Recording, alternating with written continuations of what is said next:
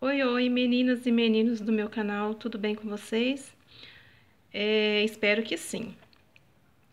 É, a linha que sobrou do, do, da nossa passadeira que fizemos, é, o restante que sobrou, eu fiz esse tapete aqui, ó.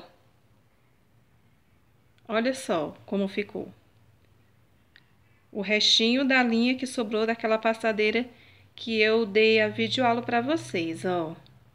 Deu ainda um tapetinho, tá?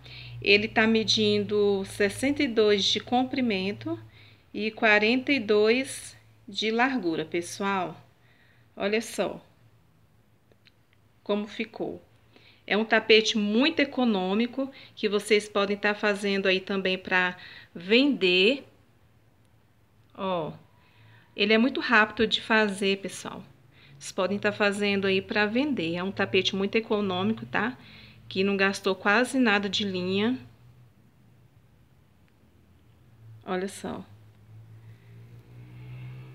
Aí eu quis dar uma variadinha aqui, ó. Coloquei outra cor. Só para dar um retoque. Ó mas eu achei que ficou muito legal. Eu gostei de estar tá fazendo ele, ele é muito bom de fazer e esse modelinho aqui eu peguei da Luísa de Lu, tá? Se vocês quiserem estar tá seguindo ela também, é uma professora maravilhosa que ensina muito bem, tá? E eu peguei esse modelinho aqui para estar tá fazendo. E se vocês quiserem também que eu esteja fazendo uma videoaula desse tapetinho aqui econômico, é só deixar nos comentários aqui embaixo, tá, pessoal? Espero que tenham gostado desse modelo, é simples, mas é muito fácil e rápido de fazer, tá bom? Deixe seu joinha se você gostou, tá bom?